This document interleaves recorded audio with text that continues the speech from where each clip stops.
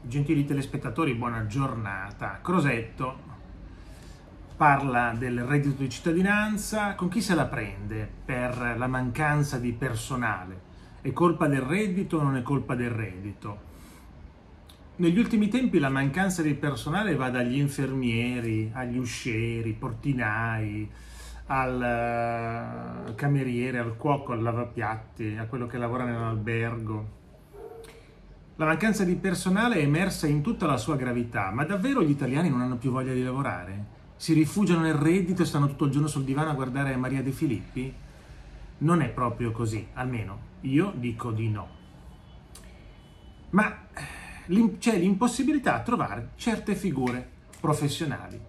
Guarda un po', sono tutte figure professionali che hanno delle retribuzioni basse o bassissime e perché non si trovano persone per fare lavori come, non so, il cameriere o lavapiatti? Perché? C'è una parte anche che è dovuta al fatto che la gente viviamo nel mondo del, nel, nell'era dell'apparenza, vuole apparire, vuole essere, vuole fare tutti i lavori importanti e allora certi lavori non vogliono più essere fatti Cam- nei campi non ne parliamo, ci sono, arrivano dall'estero per lavorare nei campi, prossimamente arriveranno dall'estero anche per lavorare, in, per fare questi lavori. Gli italiani non li vogliono fare più, ma come per i campi, anche perché sono sottopagati. Ad esempio, come dicevo sempre, per fare il cameriere a Palermo si guadagna tra 600 e 800 euro al mese, a quel punto è ovvio che a Palermo è meglio prendere il reddito di cittadinanza a 600 euro, no? Eh, mi, sembra, mi sembra anche ovvio. Ma sul tema della mancanza di personale, Crosetto se la prende col, eh, con chi? Dice così, se rispetti la legge e i contratti non fatichi a trovare persone che abbiano voglia di lavorare. Se pensi che assumere le persone sia fare loro un regalo, di cui devono esserti grate, accettando ogni titolo di trattamento, meriti di rimanere da solo. Eh, e poi aggiunge che reddito di cittadinanza e mancanza di personale sono due discorsi totalmente diversi. La legge che istituisce il reddito fa schifo, non l'intervento economico a sostegno delle persone in stato di povertà, che è necessario e giusto, ma il resto è da buttare è assolutamente corretto quello che dice. Il problema del reddito è che è una legge fatta da schifo, ci sono un sacco di truffe, è stata fatta così male che non ci sono delle maglie che possano detenere le truffe. Ci sono decine di truffe che, di diverso tipo per miliardi di euro truffati e oltre 150.000 persone beccate che truffavano lo Stato. Quindi per come è fatta questa legge, questa legge è fatta in modo schifoso, male. Invece, come dice Giorgetti, Giorgetti, scusate, Crosetto, l'intervento economico a sostegno delle persone in stato di povertà è necessario e giusto. Necessario e giusto, il resto da buttare. Per quanto riguarda le assunzioni, ovviamente la, molti, molti imprenditori medio, medio-piccoli pensano che assumere una persona è fargli un favore, devono essergli grati, no? come dire, io ti do il lavoro, ti do 600 euro al mese e mi devi ringraziare ogni mattina quando mi vedi. È sbagliato pensare questo, ma questo è un, è un ragionamento tipico, tipico del piccolo imprenditore, quello di sentirsi al centro del mondo, di sentirsi lui illuminato e gli altri che sono dei poverini devono ringraziarlo tutti i giorni. Quindi se gli dà 600 euro deve anche ringraziare, non lamentarsi ma ringraziare. Eh, non è così. Non è così. Chi lavora affitta il proprio tempo in cambio di una retribuzione. Solo che oggi quell'affitto è così basso che nessuno vuole più affittare il proprio tempo per 600 euro al mese.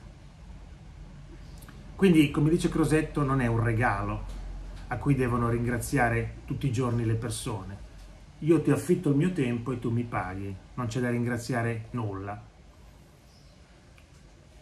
Pertanto quello è un deterrente, poi quando tu vai sul mondo del lavoro e trovi delle, delle persone che ti fanno capire che li devi ringraziare tutti i giorni per darti 600 euro, li mandi a quel paese il prima possibile. Appena trovi un altro lavoro scappi via a gambe levate. Non c'è nessun valore aggiunto per rimanere in quell'azienda, no? Di là mi pagano di più, però rimango qui perché è un bel lavoro, un bel ambiente, rapporti. Invece quando c'è qualcuno che ti fa pesare, che, che ti ha pure assunto, per quanto riguarda appunto sono delle cose differenti. Quando però Crosetto parla di se tu le persone le assumi con i contratti, tutto a norma di legge, non fai fatica a trovare persone. Non è neanche detto perché quei lavori sottopagati spesso sono sottopagati a norma di legge, cioè la legge avvalla del, dello sfruttamento del lavoro. Quindi eh, realmente, eh, realmente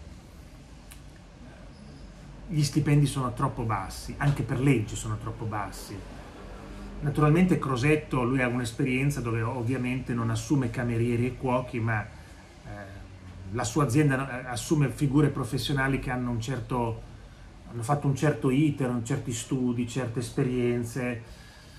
Tu li assumi, cerchi la persona qualificata per quella cosa, gli dai quello che è il suo valore di mercato e le persone vanno a lavorare. Ma se Crosetto avesse un bar o un ristorante, credo che avrebbe difficoltà a trovare le persone, non perché le assuma in nero, ma perché eh, anche con i contratti il cameriere non, non, è che va a guadagnare così tanto da essere felice, ecco.